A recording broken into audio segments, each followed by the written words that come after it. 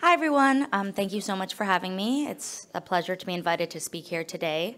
Um, as you can probably tell by my accent, I come from the US. Um, but I'm going to be talking about my organization, Remember the Girls. And while I don't have a CTD or a creatine transporter deficiency, I am a carrier of a different X-linked genetic condition. So I'm going to be talking a little bit about my journey and how this led me to forming Remember the Girls, which is the first and only international organization for X-linked conditions.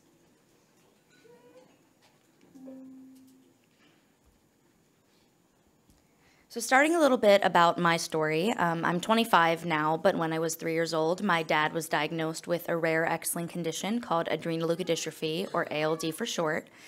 Uh, it is a neurological disease, and over the next two years, my dad lost the ability to walk, talk, swallow, and developed early onset dementia, and he passed away about two years after his diagnosis when I was five.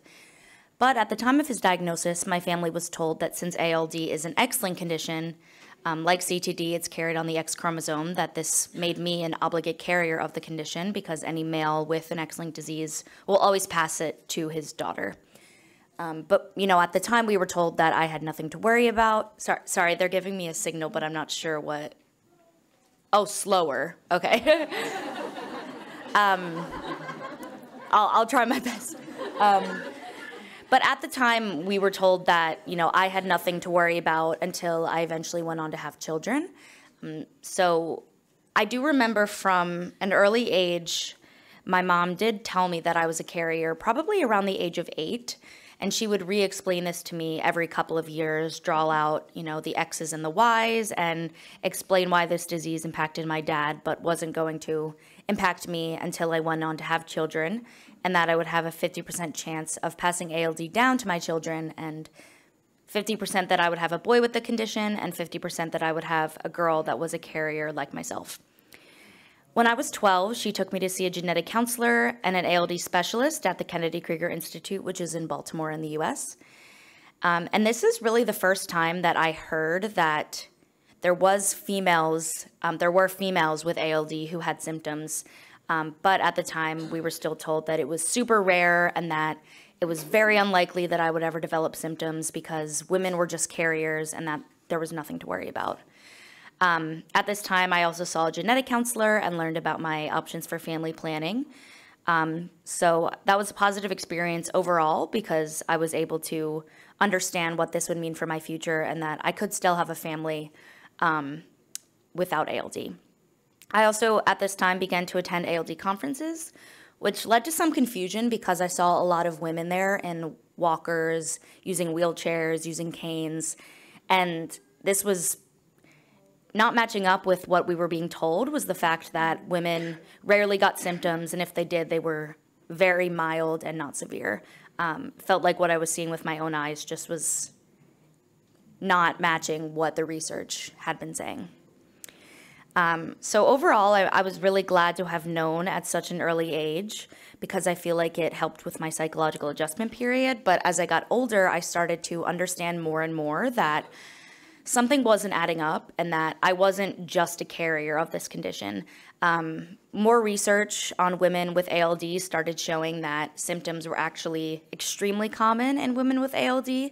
Um, now we know about 90% of females do eventually experience symptoms and those symptoms are they can sometimes be mild but are often not and complete you know completely um, life changing many women eventually need walking mobility help um, have bladder and bowel dysfunction.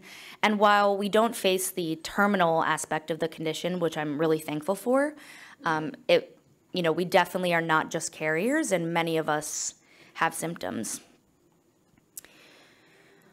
I started getting more involved in the ALD community and what this meant for me as a teenager. And through this, I started learning that there are many other X-linked conditions where females were facing similar challenges, where they were long thought to just be carriers and be completely unaffected. But in fact, they did have symptoms. However, these symptoms were often not taken seriously.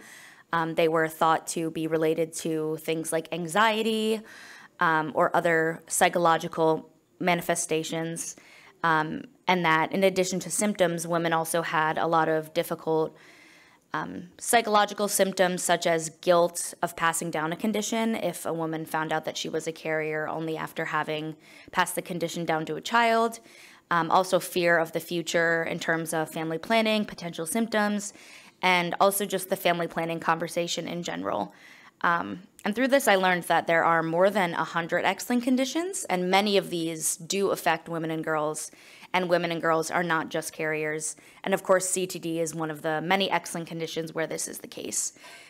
So in 2017, it was my um, freshman year of college, or uni, as you would say here.